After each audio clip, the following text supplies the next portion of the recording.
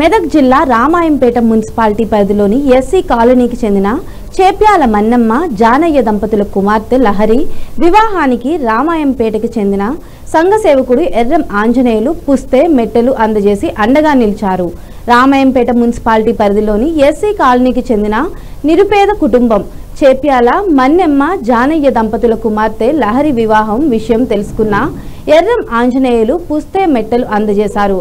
మండల వ్యాప్తంగా ఇప్పటి వరకు తొంభై మూడు మంది నిరుపేద ఆడపిల్లల పెళ్ళిళ్ళకు పుస్తే మెట్టెలు బహుకరించినట్లు ఎర్రం ఆంజనేయులు తెలిపారు. రొయ్యల పోచయ్య దేవుని నరసింహులు రొయ్యల కిషన్ సారు నరసింహులు తదితరులు పాల్గొన్నారు. రామాయపేట్ ఎర్ర మంజనేయులు గారు నేను. ఇప్పటికి కూడా తొంభై మూడో పుస్తమటలు ఇవ్వడం జరిగింది ఇప్పటి వరకు.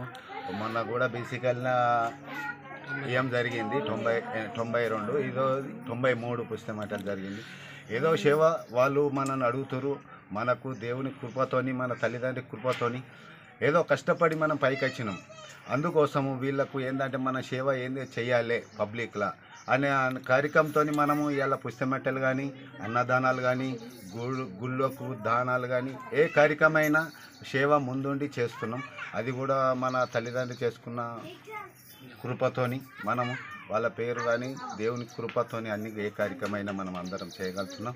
అందరు కూడా మాకు కూడా అందరు సహకరిస్తారు. ఇలా రండి అన్న అన్న కూడా అందరు వస్తారు. మన ముద్రాజు కానీ వేరే కాస్ట్ కానీ వేరే కులం ఎలా అయినా ఎలాంటి వాళ్ళైనా పా ముందు మనం పోదాం పా అని అంటారు.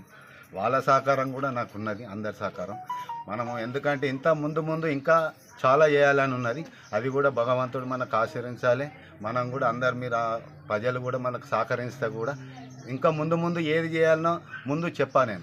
చెప్పి చేసినాక చెప్తాను నేను. అంతవరకు నమస్కారం.